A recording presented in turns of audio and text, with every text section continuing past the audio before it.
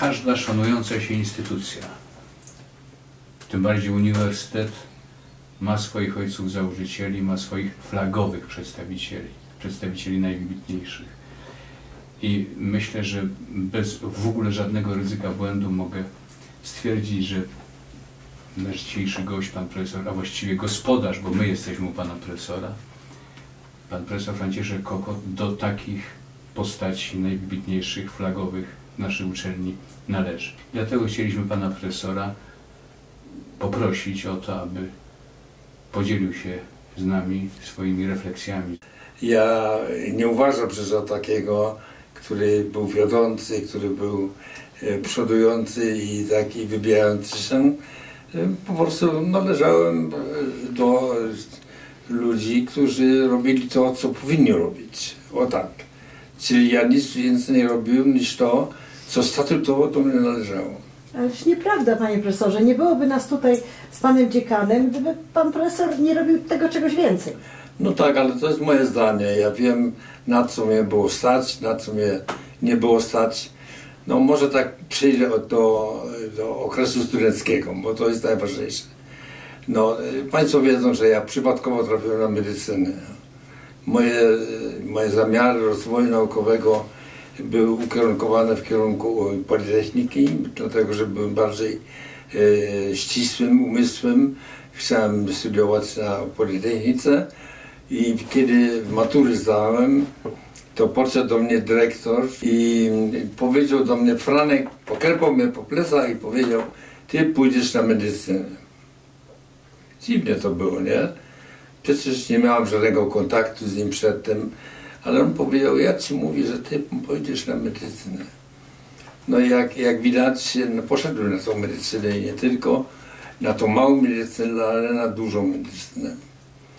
E, Początek moich studiów był bardzo trudny. Najtrudniejsze były pierwsze, powiem, pierwsze 6 miesięcy.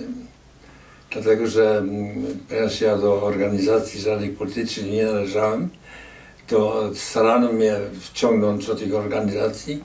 Ja zdecydowanie odpowiedziałem nie. Co skutkowało tym, że stypendium mi odebrali. I, i żyłem po prostu na, na koszt kolegów, którzy rozpoznali sprawę, którzy mi pomagali. Czekałem na ten moment, kiedy mogę pierwszy egzamin zdawać u profesora Prebrynowskiego. To było w, w czerwcu 1949 roku. No i po zdaniu y, tego egzaminu moje losy się zupełnie zmieniły. Profesor Prebrynowski zaproponował mi pracę w swoim zakładzie jako, jako laborant. Miałem tam coś tam y, syntetyzować, kwas krokonowy nie wiem, to było jego zainteresowanie naukowe. No i tłumaczenie podręcznika chemii dla studentów w języku niemieckim ogłoszone i miałem to przetłumaczyć na język, na język polski. Miałem przyjemność współpracowników na, na chemii, profesor Prowendowski, który był uważany jako służowy, charakterologiczny człowiek. Okazało się, że bardzo serdeczny był. Pracowałem tam półtora roku, mniej więcej półtora roku. I nagle, nagle coś się zmieniło, mianowicie słyszałem, że zostaje otworzona nowa klinika chorób wewnętrznych pod kierownikiem, pod kierownictwem pana profesora y, Gibińskiego, a on był wtedy najmłodszym, inter, najmłodszy internista w naszym kraju. I chodziły takie pogłoski, że to będzie, to jest najlepszy internista. Pierwsze, pierwsze takie ten moje spotkanie z profesorem Gmińskim było takie negatywne. Ja, ja to odczułem, że profesor Gmiński nie jest zadowolony, że prorektor do spraw nauki przywozi mu współpracowników, przyszłych współpracowników. To nie był jego wybór, tylko ja mu narzuciłem swoją osobę. Jednak mnie przyjął, ale powiedział tylko na w zasadzie pan może u mnie pracować jako wolontariusz. Profesor Kibiński szybko poznał się e, na moich zdolnościach e, chemicznych. chemicznych. Polecił mi kier- pokierowanie funkcją laboratorium diagnostycznego. No i zacząłem robić karierę kliniczną. Ja prowadziłem takich chorych samodzielnie i była taka pacjentka e, dyskusyjna i ja przedstawiłem profesorowi swoją koncepcję diagnostyczną i leczniczą. No i doszło do wymiany, profesor mówi to nie tak, nie, nie tak, ja mówię nie, to tak będzie. Mówi to jest niemożliwe. No. Na sali było 20 towarzyszących e, te wizy, te wizycie kolegów i powiedzieli, że już jutro kochota nie zobaczą. A profesor Gebiński, wychodząc z tej sali, złapał mnie za plecy, poklepał, mówi dziękuję kolego, że nareszcie mogę z kimś dyskutować. A więc wszyscy oczy naprawdę. No i tak się zaczęła moja kariera z profesorem Gbińskim, który, któremu w zasadzie za, wdzięczam cały swój prawdziwy e, rozwój naukowy i zawodowy. To jest niezwykle ważne. To jest niezwykle ważne. Trafić na ludzi życzliwych, inaczej mówiąc. Ży- Życzliwych i kompetentnych.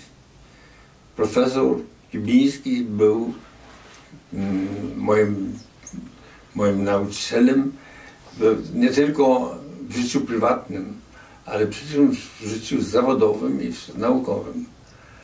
On nikogo, od nikogo nie wymagał tego, czego od siebie nie wymagał. Pierwsza rzecz była. Nie można wymagać od swojego współpracownika tego, czego się nie wymaga od siebie. Dwa, y, on, on uważał, że oddziaływać można na współpracowników przede wszystkim faktami, czynem, a nie, a nie tylko mową. Nie było tak, że kierownik kliniki pojawił się na klinice o godzinie 10, a o godzinie 11 już kierownika kliniki nie było. Tego doświadczyłem w 84 roku, 82 roku, kiedy powołany zostałem jako rektor Śląskiej Akademii Medycznej w czasach bardzo trudnych stanu wojennego. Ale nigdy sobie nie wyobrażałem, że może być ktoś kierownikiem jednostki organizacyjnej naszej Akademii i on sobie lekceważy w ten sposób swoje obowiązki. Ma nasz pan profesor dzisiaj przed sobą pana profesora Duławę i mnie i myślę, że e, jest pan profesor takim właśnie przykładem e, człowieka, mentora, mistrza, z którego my wzięliśmy, ja przynajmniej za siebie myślę, że profesor również, wzięliśmy to, co panie profesorze dał nam pan najlepszego. Będąc współpracownikiem pracownikiem profesora Gibińskiego i potem e, praktycznie się usamodzielniłem w miarę jak zdobywałem poszczególne stopnie naukowe, to nawet się zdziwiłem, że, że miałem sporo ludzi, którzy chcieli ze mną współpracować. Bo ja byłem wymagający, to trzeba powiedzieć. Oj, bardzo, ja, ja wiem, Byłem- jak byłem bardzo. No, to nie przeszkadzało 77 mam doktorantów, 77 doktorantów i czego ja y, sam nie policzyłem dokładnie, ale mój współpracownik, tutaj siedzący, pan rektor, y, przypomniał mnie, że zapomniałem o dwóch habilitantów, o dwóch, tych, których nie doliczyłem do grupy trzy- 28 habilitantów, czyli Trzynasta? razem mam mm, 30 habilitantów, z których no, większość już ma profesurę, większość, tak bym powiedział. Ja myślę, że te li- liczby, one są co prawda prawie że astronomiczne jak na nasze warunki, ale nie, nie one są naj, najważniejsze, chociaż istotne, ale nie wiem, czy mogę tak powiedzieć to, co pan profesor powiedział tutaj, wypowiadając się, że najważniejsze, i nie wiem, czy to możemy jako przesłanie odebrać, że najważniejsze jest, aby wymagać od y, siebie więcej niż od innych. Tak to, tak to zro, zrozumiałem. A drugie takie przesłanie, właściwie połączone z tym, tak to odebrałem, że uczyć trzeba osobistym przykładem. Ja zawsze mówię do studentów, jak ja mam y, początek swoich wykładów, to zawsze powiedziałem, wśród was są przyszli nobliści. Są przyszli nobliści. I nie można studenta lekceważyć. Tego nie wolno robić. Na ćwiczenia trzeba chodzić, przyjść przygotowany. Nie może lekarz, który prowadzi ćwiczenia, przyjść i y, będzie improwizował swoje spotkanie. To jest niedopuszczalne. Pan profesor mówił, y, pamiętam, pamiętaj, że na, wśród słuchaczy jest co, najm, co najmniej jeden, który na tym się zna lepiej Tak. od siebie. Tak. Tak, tak. Gdybyśmy, panie profesorze, mieli taką w tej chwili grupę studentów, zaczynają e, pierwszy rok studiów, przyszli nasi adepci. Gdyby pan profesor w takich trzech słowach powiedział, e, czego powinni się nauczyć przez te 6 lat, 5 lat, 6 lat studiów? Przede wszystkim powinien, powinien się dobrze uczyć. To jest pierwsza rzecz. Bez wkładu własnej pracy nikt mu nie narzuci niczego. I to jest bardzo istotne. Jak ja pamiętam, kiedy nie zaliczałem na przykład ćwiczeń komuś, to ja mu powiedziałem, słuchaj no, ja nie chciałbym spotkać w swoim życiu człowieka, jak ja będę w potrzebie, który będzie mnie ratował, że zamiast noradrenaliny mi wszyknie jakiś inny lek, nieprawda? Nie chciałbym spotkać takiego niedouczonego lekarza. A to jest podstawowa rzecz. Lekarz jest po to powołany, żeby pomóc. E, diagnostyka różnicowa e, objawów chorobowych jest tak e, szeroka, że opanowanie całej medycyny jest naprawdę bardzo trudne. I, dzisiaj w zasadzie dobry lekarz korzysta z, z konsultacji swoich kolegów i koleżanek pracujących w innych pokrewnych dziedzinach. Poza tym nauka jest niezakończona. Dzisiaj jest tak, jutro Tak, inaczej. no, Może być tak. Może być. A oprócz tej nauki, żebyśmy się uczyli, żeby ci studenci wiedzieli, że to nie jest e, takie łatwe i że trzeba wiele rzeczy zostawić na boku, trzeba się wiele rzeczy wyrzec, jeżeli chce się być dobrym lekarzem. no przede wszystkim on powinien być dobrym lekarzem. Dobry lekarz to jest taki, który nawiązuje dobry kontakt z chorym. Czasami uściśnięcie dłoni tego chorego, e, wytarcie jego spoconej, e, spoczonego czoła przy pomocy ręcznika leżącego na, na łóżku chorego. I to takie psychiczne zbliżenie się do chorego jest niezwykle ważne. To jest ważniejsze od leków, prawda? Jak człowiek nawiąże, nawiąże kontakt, bezpośredni kontakt z chorym, to wszystko lepiej idzie. Bardzo dziękujemy. Bardzo dziękuję również.